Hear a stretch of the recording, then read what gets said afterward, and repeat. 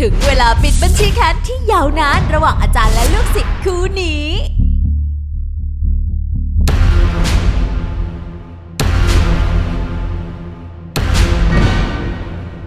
เราเคลียร์ทุกประเด็นดราม่าสาลีสุพรรณพี่แจ๊ดยอมรับความจริงเหอะสงสารน้องจันเจ้า